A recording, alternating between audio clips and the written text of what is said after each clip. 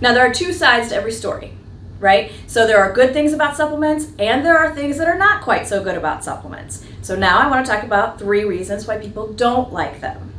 And the first reason is that even though that cost is budgetable, it does go up yearly. Now, it's not going to go up based on your claims, but it goes up based on the claims history of everybody in that plan in that state with that company. And so it is going to go up a little bit each year. Now, I want you to watch if you do go with a supplement, make sure that they don't increase based on your age as well.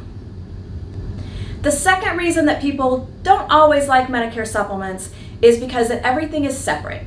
It is great at covering your medical costs, but if you want prescription coverage, it's a whole separate Part D plan.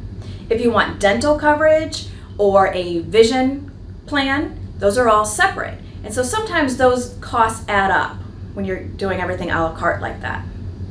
And the third reason why people don't always like Medicare supplements is because those extra benefits aren't included.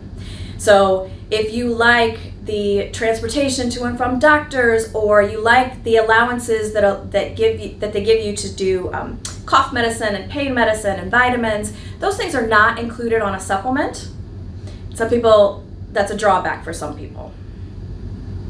So I hope this helps you understand a little bit better the pros and cons of supplements, and I hope you, you can choose which one is right for you. If you would like more information or you'd like a free, no obligation consultation, just contact us.